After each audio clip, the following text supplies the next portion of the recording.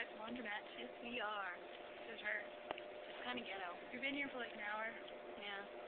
and the clothes just now are pretty much finishing. And we put them in dryers Mhm. for a long time. Yeah. They hate spin for it. around. We have a video of that. Mm-hmm. Really awesome. Mhm. Um, I need a haircut, and we're going to a Themadoodle later.